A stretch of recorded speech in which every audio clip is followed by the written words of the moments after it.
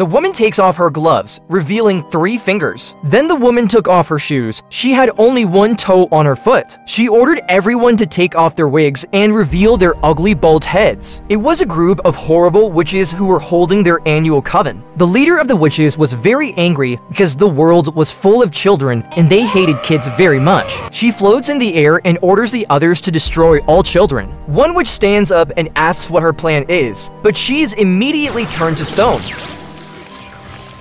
The woman took out a mysterious potion that would turn people into rats if they ate food with the potion in it. When the other witches heard this, they immediately clapped with two fingers in excitement. At that moment, a fat boy knocked on the door. When he entered the room, the witches had already put on their disguises. The woman lured the poor boy into eating the chocolate with the potion. Then purple smoke erupted from the boy's features and his body bounced into the air. His clothes fluttered down and the boy finally becomes a mouse.